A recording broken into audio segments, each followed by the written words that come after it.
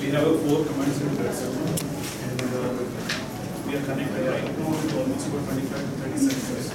And these 30 centers, uh, we, we are almost getting 35 to 40 ECGs every day.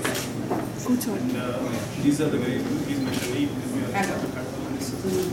And uh, we, the moment the, suppose any patient goes there, in any of these clinics or any of the nursing homes or the hospitals, small hospitals, even the medical are connected and uh, whenever there is a, the moment comes with a pain, the ECG is taken and through the software is immediately relayed here.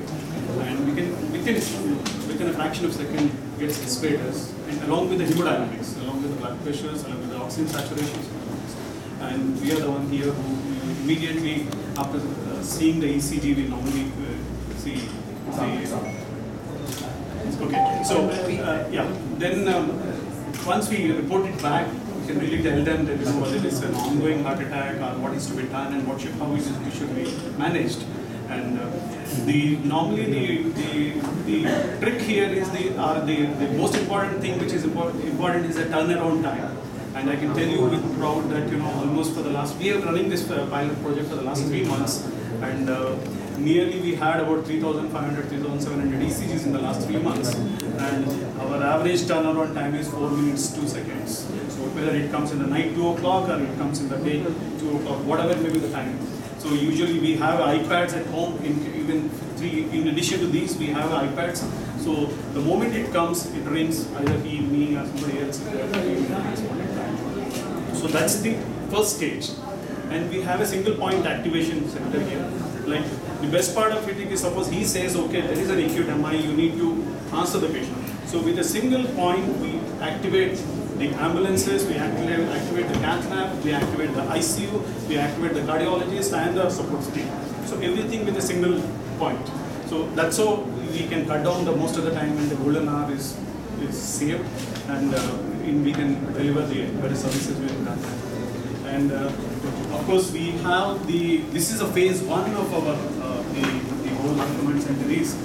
Our phase two is the one which actually can be shown here that where we are doing a, a live echo.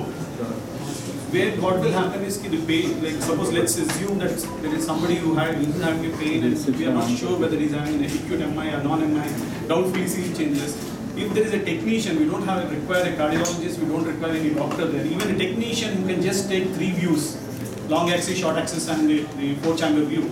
It gets released here. That's how it gets relayed here. And from here itself, we can say, and then you know directly we are online, and we can uh, see the what is the visual motion abnormality, and we can precisely you know uh, diagnose what is, what is happening that time.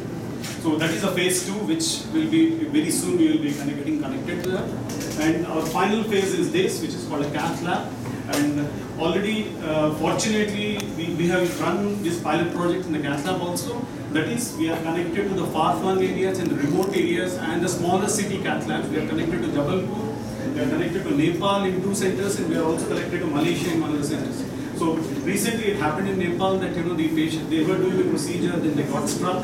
They gave me a call. They said, okay, come on to the lab, and then you know we could almost take a control of the lab from here, and step by step we can tell them you know how to proceed, and we proceed. So that's what- That's awesome. Oh, really awesome. Nice.